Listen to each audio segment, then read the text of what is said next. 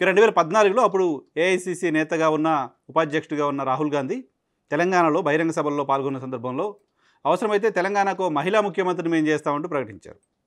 దాంతో అప్పుడు మహిళా నాయకురాలుగా ఉన్న డికే అరుణ గారు సబితాయింద్రారెడ్డి గారు సునీత లక్ష్మారెడ్డి గారు గీతారెడ్డి గారు వీళ్ళందరూ కూడా ముఖ్యమంత్రి అభ్యర్థులుగా ప్రొజెక్ట్ కాబడ్డారు ఆ సమయంలో.